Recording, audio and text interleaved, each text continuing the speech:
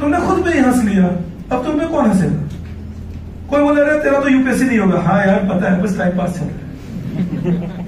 किसी जब बोलने से चीज़ें हो जाती तो लोग बोल रहे थे, तुम्हारा यूपीएससी हो जाएगा, तुम बन जाओगे। फिर उनके मुँह से कहवा उनसे सौ दो सौ रुपए देकर।